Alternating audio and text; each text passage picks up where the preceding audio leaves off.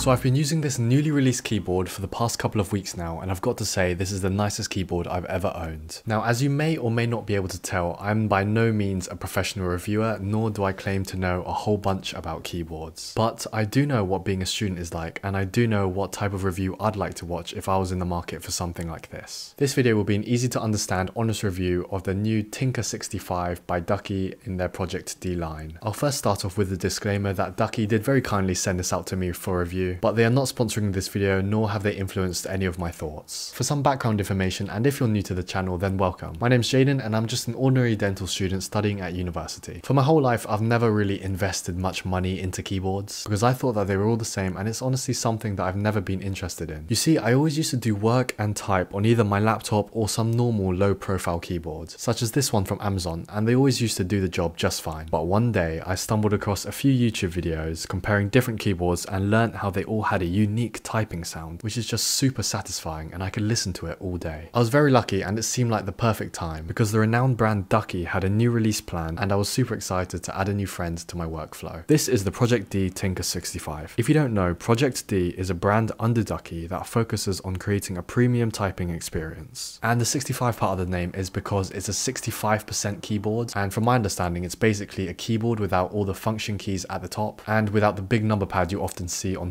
full-size keyboards. For all you keyboard enthusiasts, here are the specs and features. I have no idea what any of these mean. It's gasket mounted with south-facing RGB LED, 5-pin hot swappable with QMK VIA supported software. It has PCB stabilizers and has PBT double shot OEM profile keycaps. Hopefully some of that would have meant something important to a few of you, but to me it's pretty much a nice looking and even nicer sounding keyboard. And there will be a full sound and typing test at the end of the video where you can hear it for yourself. If you first glance at the keyboard, you immediately get a strong appreciation for the minimalistic design which has this strange sense of formality and elegance to it. The clean and uncuttered aesthetics of this sort of matte black keyboard not only creates a visually pleasing workspace, but also brings a sense of focus. I mean, look at it on my desk. It matches the simple color scheme very well, and when you picture yourself sitting here, you imagine being productive, which is exactly what I'm looking for as a student who spends countless hours at their desk. The build quality is another important aspect to touch on, as it's quite a chunky but sturdy keyboard. It's obviously made to last a very long time, as it's a keyboard after all, but it genuinely feels premium and expensive, even though the outside is made of plastic. There are adjustable height options made possible by the stands on the back, and the keys are hot swappable, meaning that you can remove them and replace them if you have any others. But unfortunately, I don't. I use a MacBook, and even though the keys are more aimed at Windows, you are still able to use full functionality as the Windows key essentially replaces the command key, and instead of an option, you have an alt. This is something I've become very used to because my previous keyboards have also had the same layout,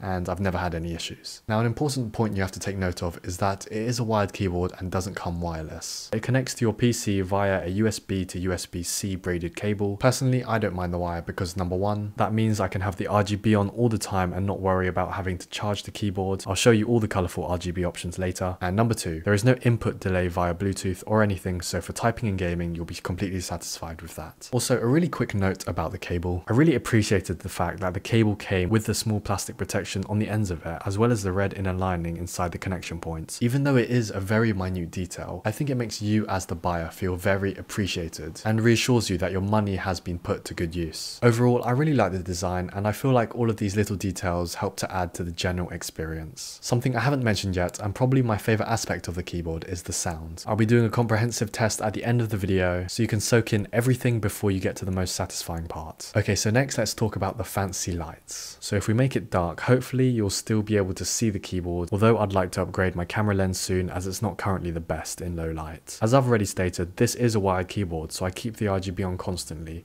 but you can turn it off by pressing function and R. This is currently my favorite light setting at the moment, but there are really so many to choose from and there's multiple ways of changing the intensity and speed of the effects you're looking at. The RGB is also south facing, so I guess that means it's pointed in the direction of the user. And as you can see, when viewing from different angles, the RGB is a lot less visible, but that doesn't affect me at all because I always sit face onto my keyboard. Let's just take a few moments to appreciate the variety of the lighting options.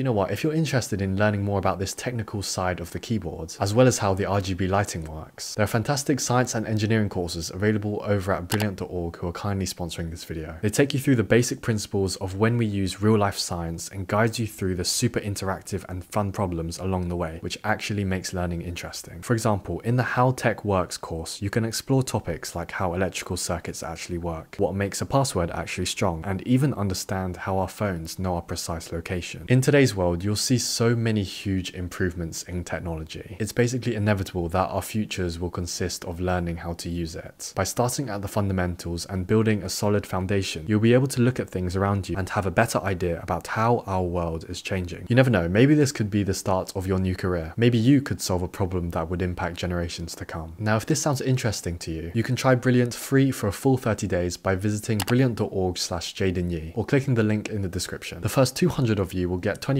off Brilliant's annual subscription. Thank you very much Brilliant for sponsoring this video. So now let's move on to arguably the most important factor when deciding to buy anything and that is the price. At the time of this video, you can buy this keyboard for about $109 or about £90 for my UK audience. My old keyboard here costed roughly £20, so obviously there is a somewhat significant difference in price, but is it worth it? Well, let's talk about it in the eyes of a student like myself. Although they both do the exact same job, the Tinker 65 definitely has some advantages that I've noticed from only using it for a couple of weeks. I always say to spend your money where you want to spend your time, and in the case of our daily lives, most of us are online and typing now more than ever as everything is slowly becoming digital. We spend countless hours at our desk, and so my justification is that since I spend more time here than anywhere else, I might as well invest some money into improving my quality of life spent here. To be honest, just the feel of typing on this keyboard alone sells it for me. Every time you press a key, you get a satisfying clicky sound. And I don't know how to describe it, but it just physically feels really nice. Because of this, it sort of influences me to type more, and it encourages me to be productive, which is something that sounds a bit crazy, since I would never have even thought of that before experiencing it for myself. The decision of price and whether it's worth it or not is a decision that's completely made by you. And if you're satisfied with what you're currently using, then you should keep it. So now let's move on to what you've all been waiting for, which is the sound test.